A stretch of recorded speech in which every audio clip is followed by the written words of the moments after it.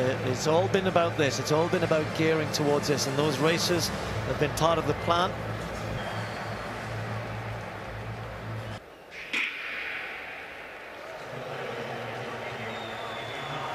So in London last year for Mo Farah, it was all about the support of the home crowd, and it was about the quest to win Olympic gold.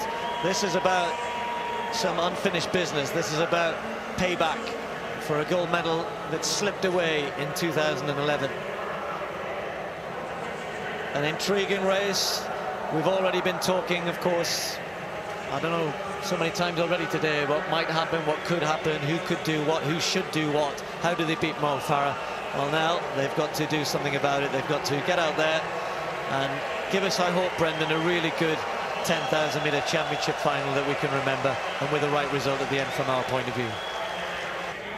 Well, it's a bit quicker, isn't it? But it's still a sort of pace which uh, is fairly comfortable. And one thing that Alberto did say to me, Brendan, is I said, what would happen? I said, just think, you know, what if somebody went off really, really hard? And he said, well, Galen and Mo, he said, Galen and Mo will run six or seven seconds behind and work their way back. But this isn't really hard. This is just a comfortable pace still. It was really a question of what if somebody decided to make this a 26.50 race, a 26.45 race right from the beginning. And I think they're so confident, these guys, that they can finish better than anyone, that they can run the second half of the race. They won't be too stressed about letting things go a little bit and just hanging off. And he said, we can work together, and these guys will chat with each other. Ritzenhein's there as well. And if they ever get to a point where they feel as though they need to work to get back to this group, then they can do it. But they're stretched out, which is good to see. Kipkemoi having his turn at the front, Tanui behind him, then Kuma, then Merga, then Gebremeskel, and uh, Kifle, and then Jeilan. Well, if you look at the Mo's behaviour in the race, he did encourage them to go along. That was clever. He's running with his teammates. Galen Rupp just ahead of him. Dathan Ritzenhein just behind him. And those three guys trained together in Oregon on an almost daily basis.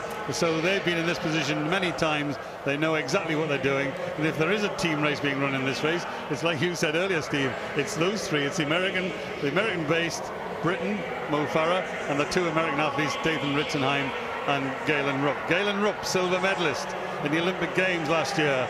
Mo Farah, the double champion. And I do, I do love saying that, actually. Dathan Ritzenhein just behind him. And the pace just continuing just to be steady, be regular. If there's, there's no real serious tactics emerging, but you wouldn't expect it yet. There's 15 laps to go. Well, this is the point, isn't it, of no return. This is the point at which somebody has got to be brave. Somebody has got to grab this race by the scruff of the neck. When they run down the back straight, they'll reach the 3,000 metre to go mark. And that, as all of these athletes know, 3K to go. Once you're inside the last 3K, you keep running 67s and 66s, then you're just asking for one thing and one thing only. So Tanui has had to do a lot of the work himself. No one's been that interested. 248 again after a two, well, last two kilometer splits have been 248. Nothing changing. Into the last 3,000 meters. Farah where he wants to be. And the closer we get to three, four laps to go, the closer he gets to the front and he'll not want to give up the position. You'll see Rupp get closer to him. You'll see them try and control this. Will the Kenyans, will the Ethiopians try and rough him up a little bit? As we see Muchiri just for the first time get a little bit closer. The Kenyan just moving into fifth place. So it's Tanui, Kuma, Farah, Merga. Muchiri just getting a little nudge from Jeilan. Galen Rupp moving into that group. Mayeko of Uganda just on the inside. And then Kajuga in the yellow vest of Rwanda just ahead of Galen Rupp. And Dathan Ritzenhein moves up for the first time of the USA. Just stretching Muchiri, you could tell he wanted to go, Brendan. This is the first time anybody else outside of Tanui and Kuma has really gone to the front. And Rupp realizes this might be it. This might be when the race is changing. Mo Farah realizes it. And now they're just being stretched a little bit. But it's still nothing Brent. Still no real pace here. I'll tell you what though. Galen Rupp's running cleverly there. He's on the shoulder of Mo Farah. So if you want to go past those two you've got to go wide outside. You've got to run a little bit further. He now knows into the finishing straight. Muchiri and Kuma and then Galen Rupp first and second in the Olympic Games here. And they're being tracked by Merga.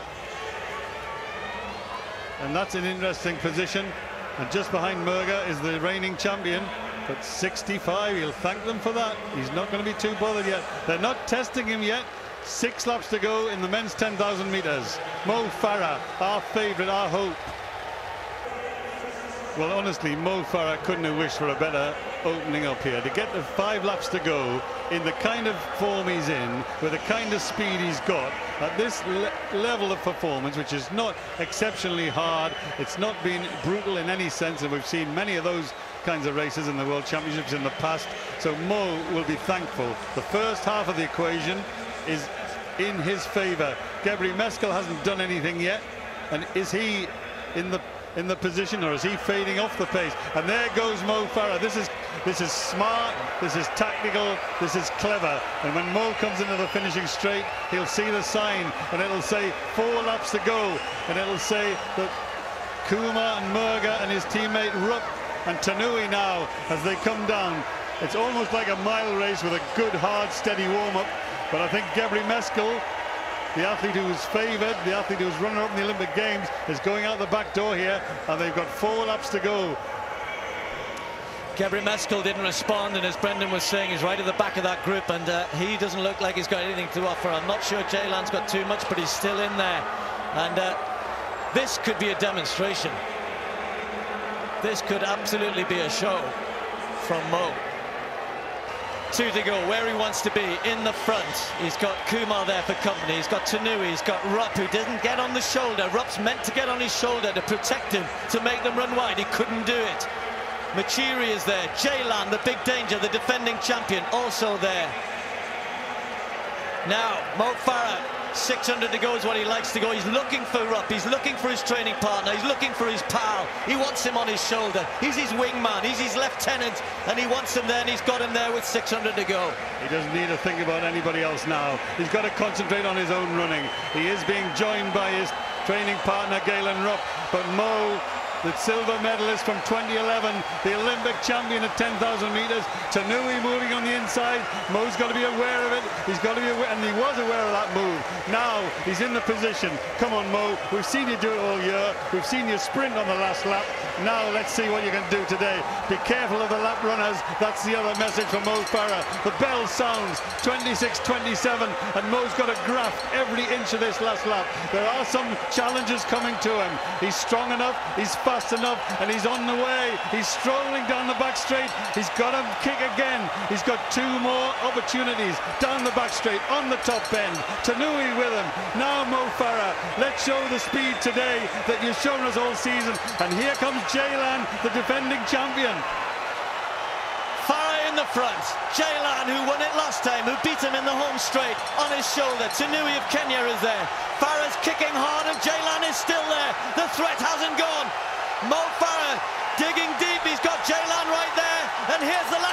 acceleration. And Mo Farah starts to go away. It's still not one. Jeilan is still there. And Jeilan comes again. But Farah's going to get there. This is world domination for Farah. He is the world champion. Gold once more.